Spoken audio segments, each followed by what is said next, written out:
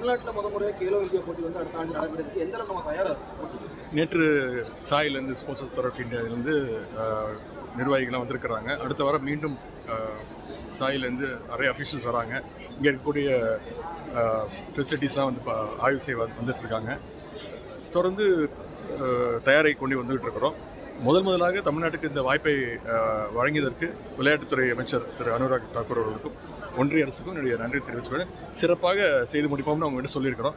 அவன் எப்படி செஸ் ஒலிம்பியாடை சிறப்பாக நடத்தணுமோ இப்போ வர இருக்கக்கூடிய ஹாக்கி ஏஷியன் கப்பு நடத்த இருக்கிறோம். அதற்கான பணிகளும் நடந்து கொண்டிருக்கிறது. அதையெல்லாம் கேட்டுக்கிட்டாங்க கேலோ இந்தியா ஒரு ஒரு நல்ல முறையில் நடக்கும் நான் நம்புகிறேன் பிரதமர் வந்து கேலோ இந்தியாவுடைய அனைத்து நிகழ்ச்சிகளுக்கும் இது இது தொடக்க விழாவாக இருக்கட்டும் இது நிறைவு விழாவாக இருக்கட்டும் கலந்துக்கிட்டு தான் இருக்கிறாரு. இனிமே நாங்களும் கண்டிப்பாக அழைப்போம்.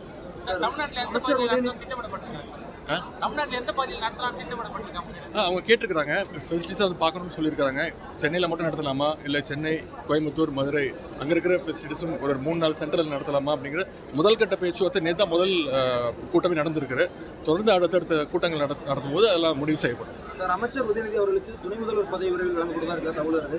யார் சொன்னா தகவல் பரவுது சார். எங்கேருந்து வந்துச்சு தகவல்? எனக்கு வர தகவல் உங்களுக்கு எப்படி வருது தெரியுது துணை முதல்வர் பதவி அளித்தா நீங்கள் தகவலே தப்புன்ற அந்த மாதிரி தகவல் எங்கேருந்து வந்துச்சு எனக்கு தெரியாது.